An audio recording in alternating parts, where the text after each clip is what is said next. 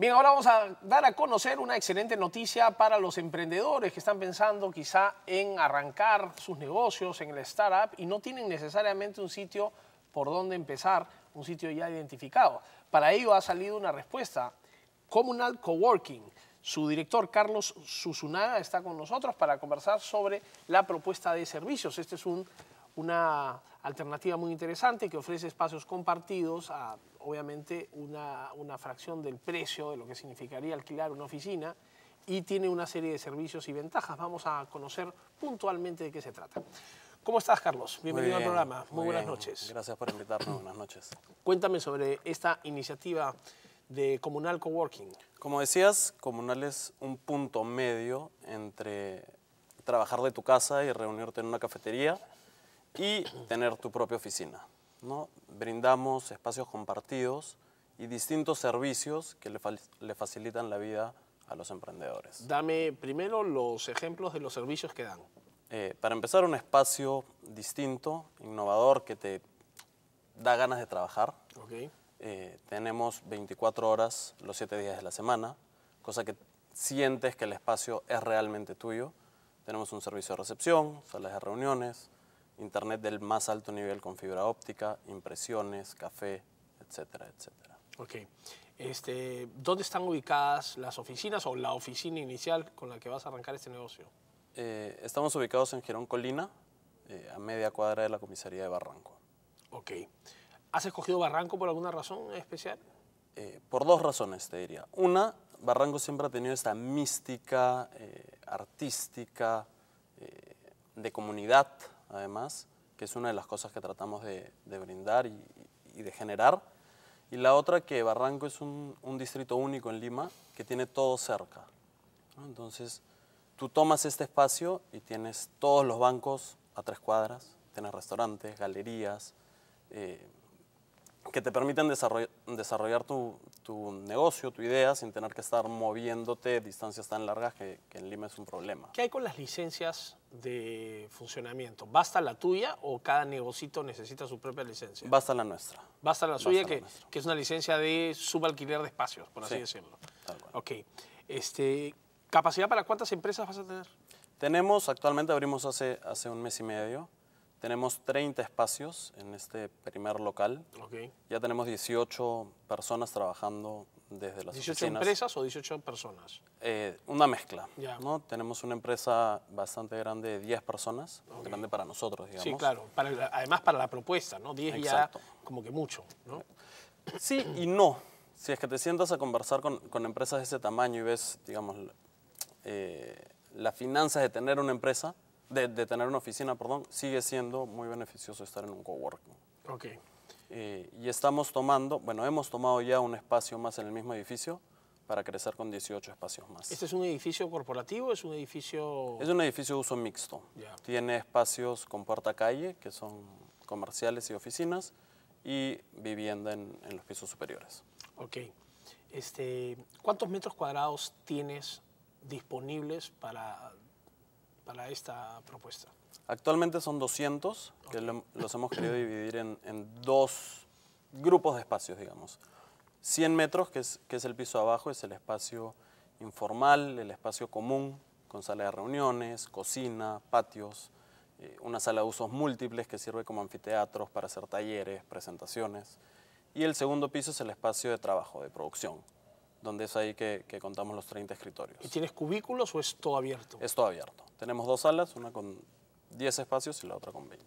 ¿Y eventualmente si necesitas un espacio más privado? Eh, tenemos salas de reuniones. A esos sí, tenemos salas de reuniones que están abajo.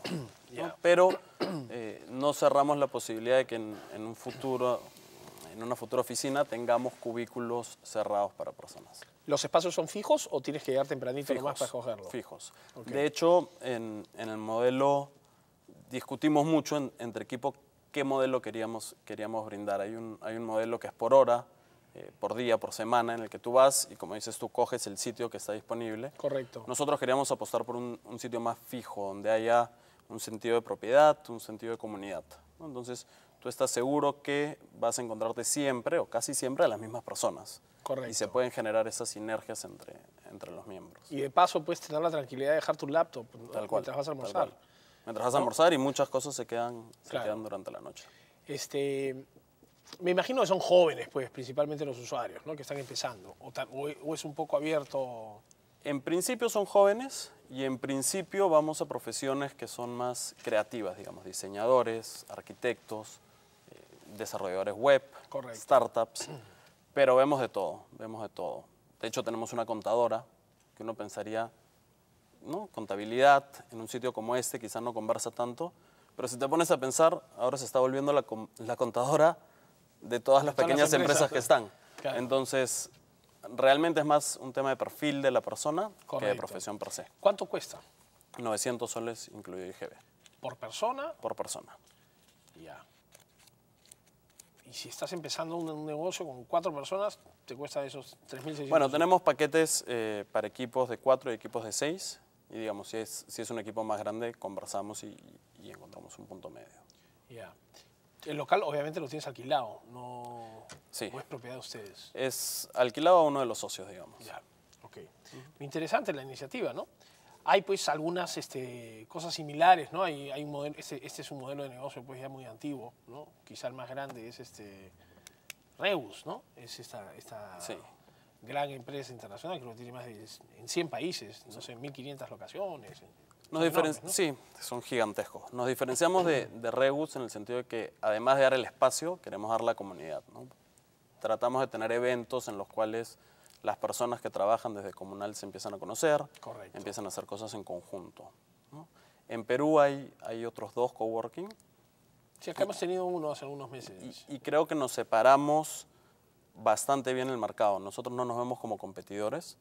Creemos que, que el competidor es más lo que te comentaba al inicio, trabajar desde una cafetería, desde tu casa, es tratar de cambiar el mindset de, de este emprendedor, de este trabajador independiente, más que empezar a competir entre nosotros por robarnos uno o dos. No, y además, pues para la cantidad de, de empresas y de startups que existen, esta es una iniciativa, digamos, e- excelente. Hay muchísimas, ¿no? O sea, hay- tienes un, un mar, pues, de, de posibles clientes. No me extrañaría que en muy poco tiempo tengas las 30 plazas cubiertas, ¿no?